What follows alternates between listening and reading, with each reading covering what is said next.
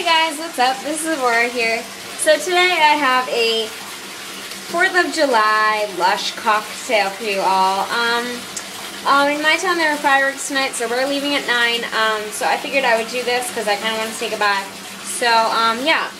The products that I'm going to be using are the pink bath bomb and um, a little bit of Dorothy. These two say 4th of July to me, so as the bath fills up, um, I'm actually going to cut,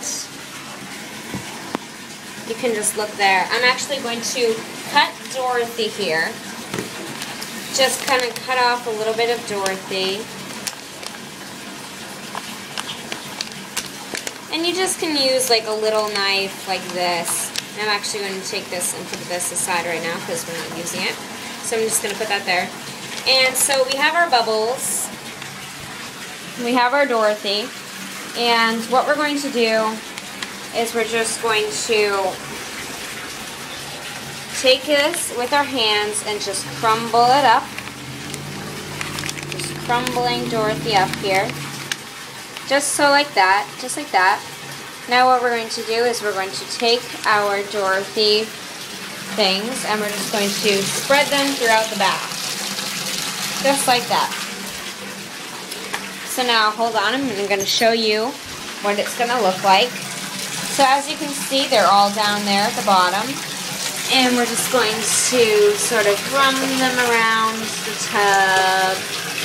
Just kind of getting them all settled out there. So those are going to be our bubbles, and you can tell they're just going to be like that. Now what we're going to do, guys, is we're going to put in our pink bath bomb.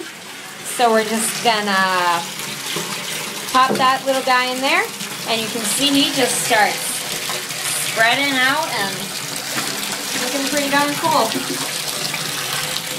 So again, we're doing this as our tub fills up with water, so I'm to try to find the bomb.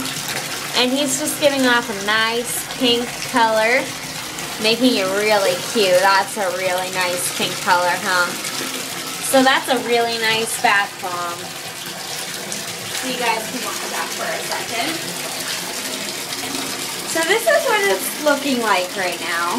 And, um, yeah, so I'm just to let this guy fizz out. And I'm to show you guys what it looks like right now. So looking like that. Oh, and the pink's really nice. I know it looks like I have pink hands, but I don't. So, yeah. Um, we're just going to let my water fill up a little bit more. We're not going to be using any bubbles, bubble baths, or anything. Um, actually, let's try to find the bath bomb right now. I don't even know where it is. Uh, um, I think it's all done. So, yeah, and the bubbles are making their way to the top. So I think we are done. And I hope you guys enjoyed this. I'm calling this the 4th of July cocktail. So I will see you all later. And bye.